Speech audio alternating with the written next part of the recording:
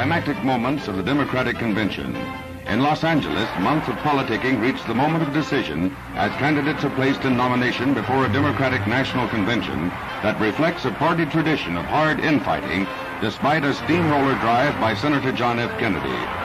Late starting Senate Majority Leader Lyndon Johnson poses the principal challenge.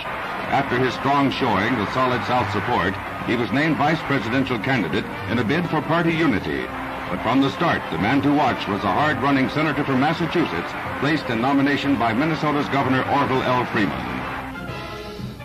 To lead us to a fruitful America, to a peaceful world for mankind everywhere, is the great senator from the state of Massachusetts, John F. Kennedy.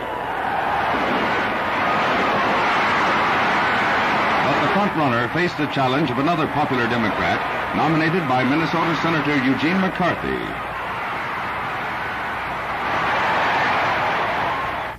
This favorite son I submit to you, Adlai Stevenson of Illinois. Stevenson's nomination touched off one of the convention's most spectacular outbursts. Among his supporters, Eleanor Roosevelt and New York's Governor Lehman, two of the party's most prominent figures.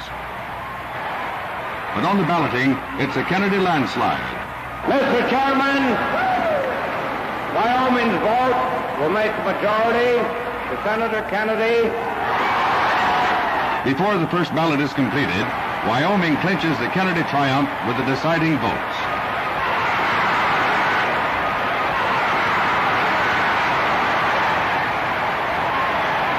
A tremendous first ballot victory, and the new standard bearer makes his appearance. In our devotion to this country, we wish to keep it strong and we wish to keep it free. It requires, at this critical time, the best of all of us. And I can assure all of you here who have reposed this confidence in me that I will be worthy of your trust. We will carry the fight to the people in the fall, and we shall win.